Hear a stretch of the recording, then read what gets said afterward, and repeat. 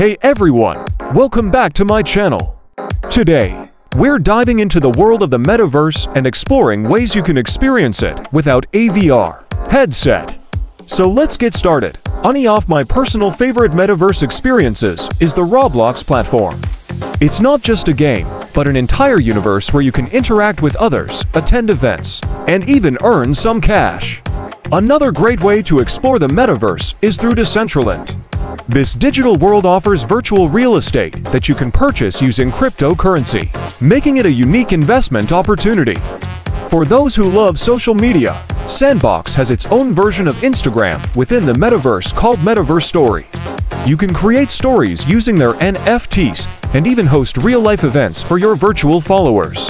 If you're into art or just appreciate all things creative, CryptoPunks offers NFTs depicting digital artwork. These unique pieces can be bought and sold on the open market, and some have even sold for millions of dollars. Finally, let's not forget about Fortnite. Their collaborations with different brands and artists have turned their game into a metaverse of its own. From concerts to crossovers with films like Black Panther, there's always something new and exciting happening in Fortnite. That's it for today's video on experiencing the metaverse without a VR headset.